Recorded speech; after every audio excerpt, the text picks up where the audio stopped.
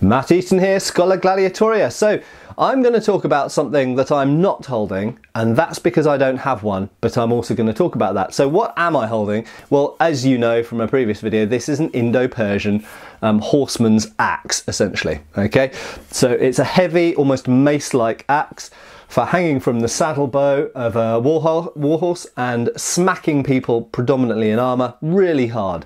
Um, and very effective weapon it is for that purpose. But if we go back a few centuries, in fact, roughly about eight centuries, we get to the Viking era. Now, now I know era, era. I know that all of you love Vikings, and um, you know what is well, what is a Viking? Blah blah blah. Well, you know all that. Okay, we're not going to talk about Vikings in this video.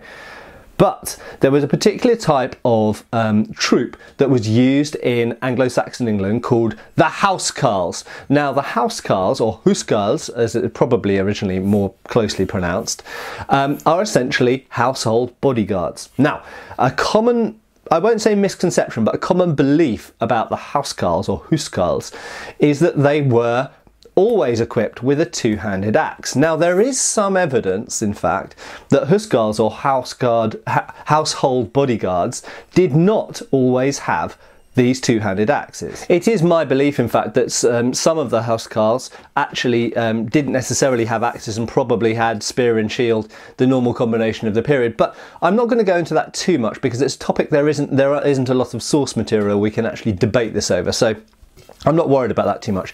But what I really want to talk about are their axes. Now, we definitely know that in the 1000s, eh, particularly in England, but obviously in Scandinavia as well, and probably perhaps uh, in Frisia and perhaps Normandy, there was a fashion for starting to use large two handed axes. Now, First of all, why might people be using two-handed axes at that time?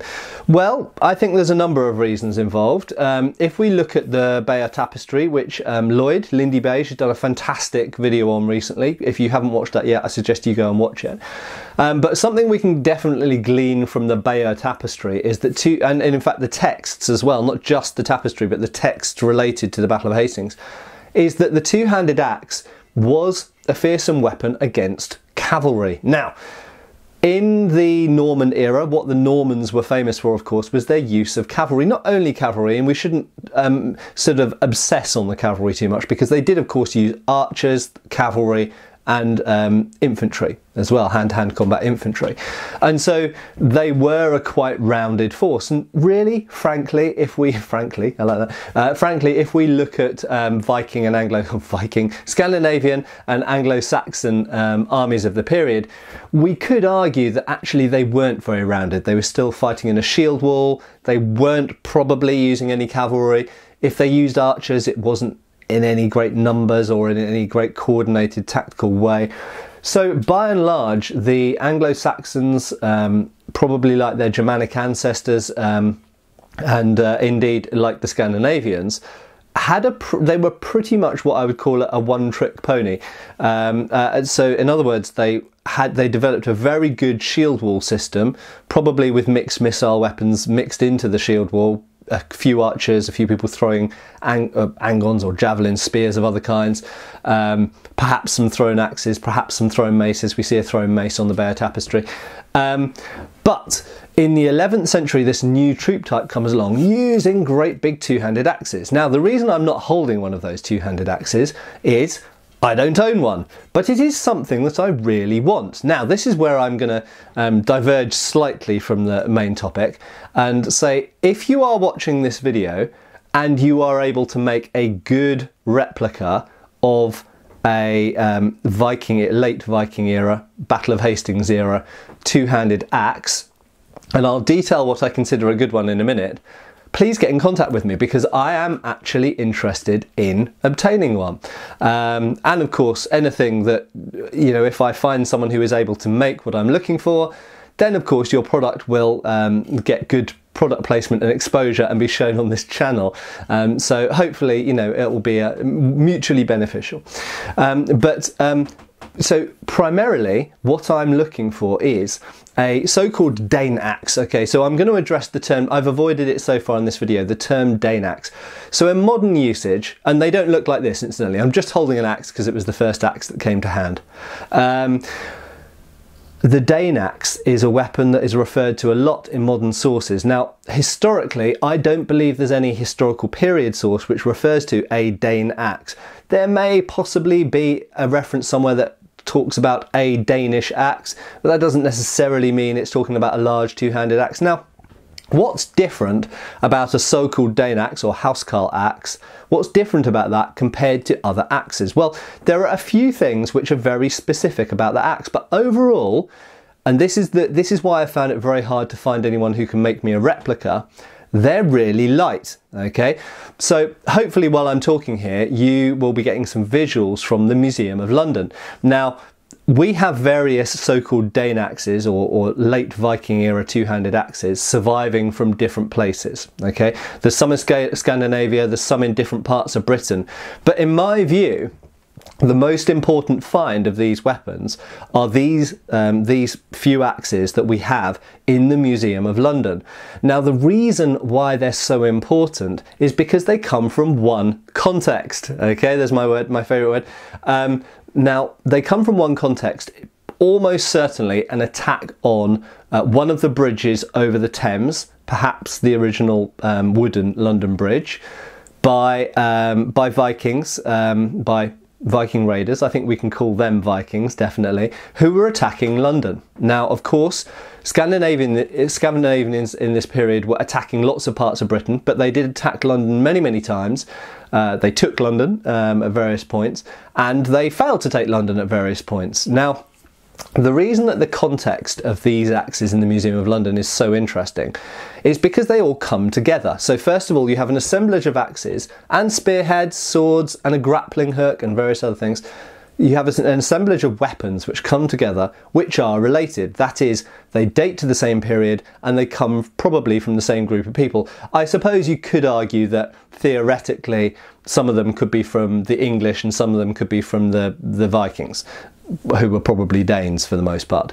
Um, you could argue that, but I think given the proximity that they were all found to each other, it's more likely that a bunch of guys went over overboard or a ship got rolled over or um, perhaps sank, I don't know, or got fire on it and people had to jump off, this type of thing. And for some reason, I suspect that most of those weapons that ha have been found in that grouping are probably from either one side or the other. And I would say at this date, probably from the Danes rather than the English. Now, one thing we should mention at that point is the English or Anglo-Saxon uh, uh Anglo-Saxon housecarls, which incidentally later on when we get the Varangian Guard in the Byzantine Empire, we know for a fact that some of the Varangian Guard, the original Varangian Guard were made up of Vikings, Viking mercenaries, but in the 11th century, after the Battle of Hastings, and I believe possibly before it as well, we know that English, Anglo Saxons, went and joined the Varangian Guard. So it's interesting, you have a cultural link there. And one of the reasons for this is because the housecarls themselves were a leftover from the reign of King Canute. Now, King Canute conquered England um, and he brought with him lots of Danishness, essentially, lots of bacon and Lego and no. Um, so, but one of the things he brought with him that was Danish was the housecarls. Now, the housecarls wielding these big two-handed axes were a Danish institution. But after um, uh, Canute and his sons had died off, and we returned to English kings, Edward the Confessor, they kept this Danish institution. They kept the housecarls. But the housecarls that we see on the Bayeux Tapestry, whilst they are almost certainly most of them Englishmen, they are Anglo-Saxons, they are themselves a Danish institution. So I, I, suppose you could, if you want to look at a later period, you could look at something like um, the King's German Legion or something like this. You know, we get essentially a foreign king. The foreign king brings in a foreign establishment, and the foreign king dies off or gets replaced, but the foreign establishment stays. Okay, it stays part of the English, in this case, English military. So the housecarls are very, very interesting, and there's so much more that could be said about them. I might do a dedicated video about them one day uh, when I know more myself. Um, but it is a it is a topic which you could get very in depth about, uh, depth about. But I really want to focus on these axes. So these axes were of a probably a Danish or should we say Scandinavian type. They were brought to England and then they established themselves in England, such that by the time that William uh, the Bastard or William of Normandy invaded, um, the two-handed Danish style axe had become an English two-handed axe. It had become very much an English institution. Um, but, and again, this comes back to why I have found it difficult to um, commission someone to make one. I did actually commission someone to make one of these axes for me, and after a few months, he concluded that he couldn't really make a good enough replica, and he was completely upfront about it and gave me my money back, and that's absolutely fine. I'd rather someone did that than you know kind of make a crap replica or whatever. Um, now the reason they're so difficult is they're light. Okay, so.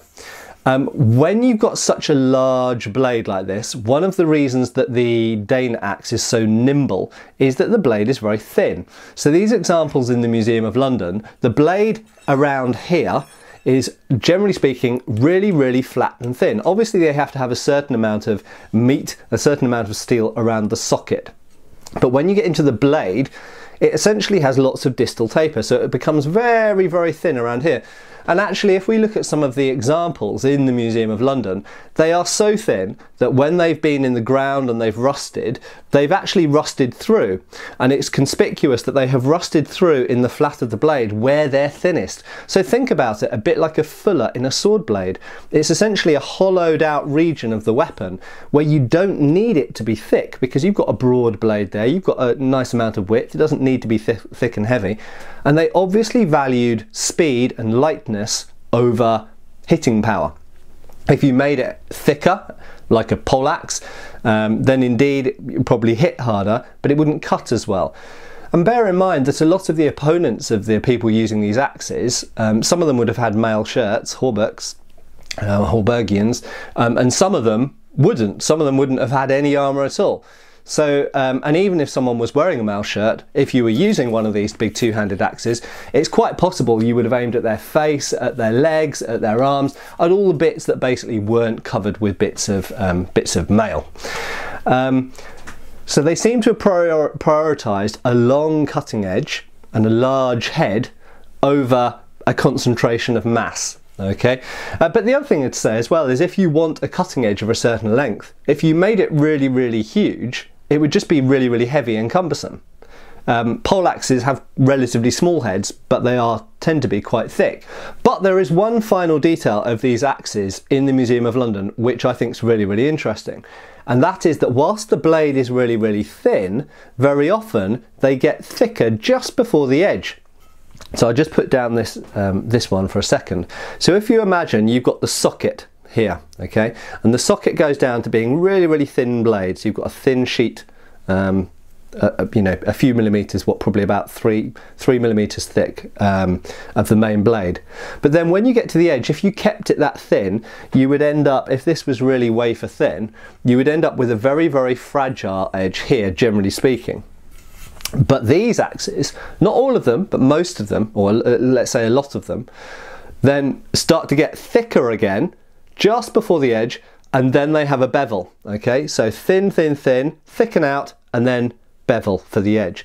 So what they've done is they've essentially created a diamond sectioned edge on the edge of a flat blade and what is also conspicuous about this as well is that for the most part we're probably looking at a low carbon steel blade here with a high carbon steel edge diamond edge forge welded on. This has many advantages. It means that you've got a shock absorbent body here, it's less likely to crack, less likely to snap, break, because it's softer. Um, and then you've got a very hard edge which you can heat treat and essentially edge quench like you would do with a Japanese sword or something like that or even some tulwars. So you have a very hard edge with a softer back. Brilliant! Means you can really concentrate on having a soft, almost brittle edge bound to a softer shock absorbing back. But not only that, it's economical because it means your best steel, which is very expensive, is retained only for the edge and not wasted where you don't need it, frankly. Um, Now, what is interesting, and again, we come back to why this assemblage in the Museum of London is so important and so interesting, is that not all of the axe blades are the same. So, for a start, the examples in the uh, Museum of London vary um, through three basic ways. Number one, they vary in their shape and size. Okay, um, so that's a fairly simple way to vary. Secondly, they vary slightly in their sockets. All of their sockets are slightly different from each other, and at least one of them, and I think perhaps two, have brass kind of sleeves that go inside the iron socket. But the third way is how they vary on the edge. And what's interesting is if you look across not just the Museum of London ones, but if you look across all of the ones surviving from all over Europe, not all of them have this reinforced diamond section edge. Some of them do indeed just go down to a thin edge. So what we're looking at here is some, is it personal preference or different types of axe for different types of target? We don't really know. Um, and just the same as you get different types of swords for different contexts for different environments for fighting different types of opponent. The sword you'd pick for fighting in armour, plate armour, is very different to the type of sword you'd pick for fighting in North Africa against lightly armoured opponents. Um, so, uh, and equally in periods it changes. So, period it changes, area it changes, and yet within the same period in the same part of Europe, we find two, uh, you could say roughly, two types of these large Dane axe. Some have reinforced edges and some don't. Anyway, to finish up there, really to say that I think these two-handed axes are uh, fascinating weapons. They did continue on into two-handed axes later. They didn't just disappear after the Battle of Hastings. Uh, two-handed axes that are clearly an evolution or a continuation of these two-handed axes did continue well into the 13th, you could even say the 14th century. You could even say that later 15th century types of axe are ultimately evolved from them but definitely things that were relatively similar to Danish axes or housecarl axes continued into the 12th 13th century.